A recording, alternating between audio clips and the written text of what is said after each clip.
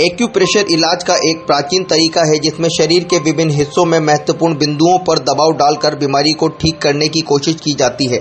हमारे शरीर के मुख्य अंगों के दबाव केंद्र, यानी प्रेशर पॉइंट, पैरों के तलवे और हथेलियों में होते हैं। प्रेशर पॉइंट जिस अंग को प्रभावित करता है, उससे जुड़ी बीमारी में इससे राहत भी मिल सकती है।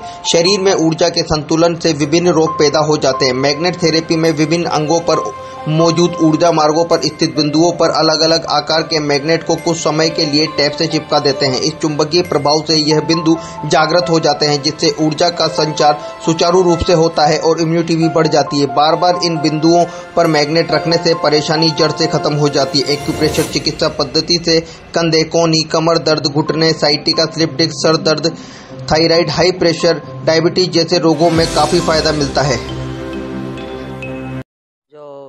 एक्यूप्रेशर के नाम से भी जाने जाते हैं ये मतलब पेट दर्द सर्वाइकल माइग्रेन और अस्थमा की भी तकलीफ़ हो किसी को खांसी जुकाम गले संबंधी इन चीज़ों में काम आता है। कितने दिन में सर ये पाँच छः दिन में ठीक हो जाता है तो यहाँ तक कि फीवर के भी ये मैग्नेट काम करते हैं। अलग अलग पॉइंट होते हैं इनके। किस तरीके से लगाते हैं सर ये अलग अलग पॉइंट होते हैं इनको पॉइंट के हिसाब से लगाना पड़ता है ये।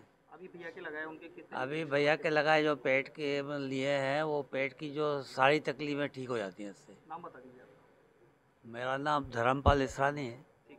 सर में एक हमारे शर्मा जी होते थे R K Sharma ji.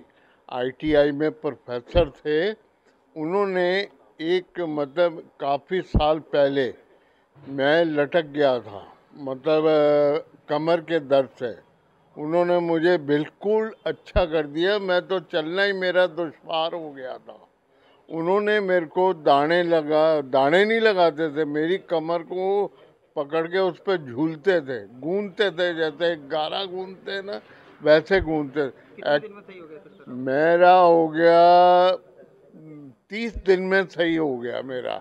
और लोगों को इतना उन्होंने फ़ायदा कराया कि अभी उनकी दो महीने पहले डेथ हुई है।